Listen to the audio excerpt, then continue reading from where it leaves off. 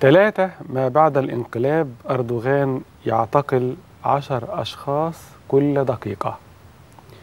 لو إحنا شفنا الأرقام للاعتقالات اللي موجودة في تركيا هنلاقي تقريبا كل دقيقة بيتم إلقاء القبض على عشرة من العسكريين أو المدنيين الأتراك. الحكومة التركية قالت تم إلقاء القبض على مئات بعد كده قالوا ألف ألفين تلات آلاف أربعة آلاف سبعة آلاف النهاردة التقارير بتقول قرابة عشر آلاف تم إلقاء القبض عليهم.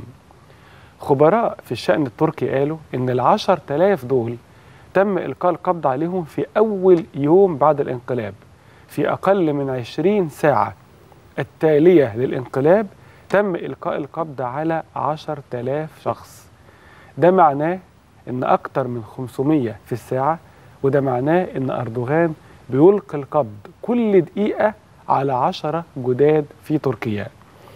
وطبعا الرقم مفزع وعشرة آلاف مش آخر الأرقام. والنهاردة رئيس الوزراء قال إنه لسه الأرقام هتتجدد وتتعدل.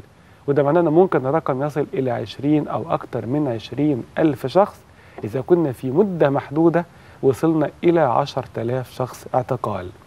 رقم قياسي إن أردوغان يعتقل في كل دقيقة عشر أشخاص من الجيش أو من المدنيين في تركيا. 103 من العسكريين المعتقلين برتب عليا جدا.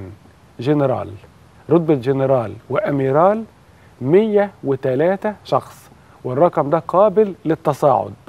إذا بنتكلم على 10000 وشوية مبدئيا الرقم قد يتضاعف.